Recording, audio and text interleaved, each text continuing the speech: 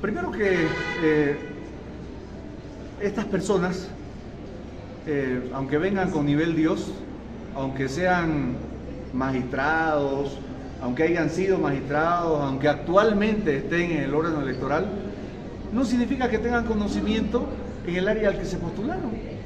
Por lo tanto, la comisión, la revisión exhaustiva de cada uno de los miembros que tocó eh, revisar su carpeta, sencillamente determinó que no cumplían los requisitos específicos de conocimiento y de especialidad que establece la ley.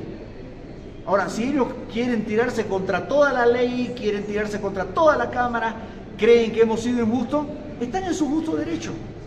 Pero les puedo asegurar que nosotros hemos actuado de acuerdo a la ley y hemos además tenido un criterio común consensuado precisamente para esta evaluación y están en su derecho, por supuesto. Pero creo que hemos actuado en base a la justicia.